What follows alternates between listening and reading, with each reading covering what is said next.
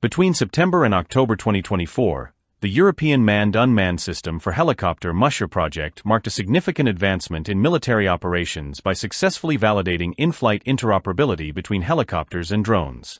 Conducted from Île du Levant in France and various locations in Italy, these tests represent a major leap forward for European military missions, showcasing the feasibility of remotely controlling drones via satellite communication.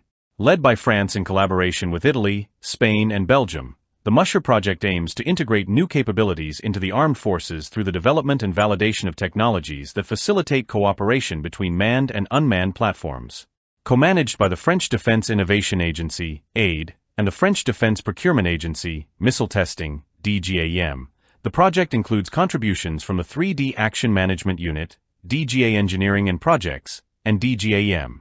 The testing campaign was meticulously orchestrated, involving preparatory work that led to the development of an innovative communication system capable of effectively linking various aircraft during joint missions.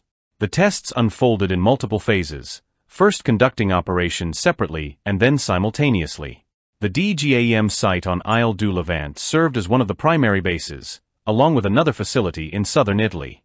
For the French component of the trials, an H-130 helicopter outfitted with specific sensors was paired with a VSR-700 drone developed by Airbus Helicopters.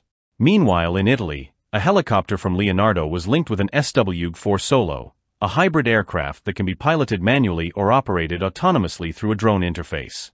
Both test sites and aircraft were interconnected via satellite communication, ensuring real-time data exchange and control over long distances.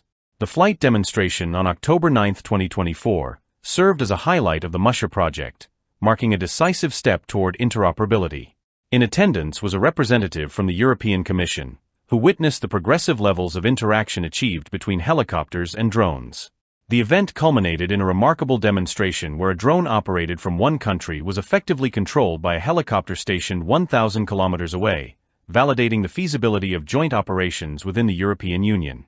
These successful tests open the door to new capabilities for next-generation helicopters, particularly the upgraded Guépard and Tiger models, which will be equipped to collaborate with drones in future military missions. The integration of unmanned platforms is set to significantly enhance the range and effectiveness of operations, providing armed forces with an invaluable strategic asset. The Musher testing campaign represents a notable advancement in military aerospace, paving the way for more integrated manned and unmanned systems in European air operations.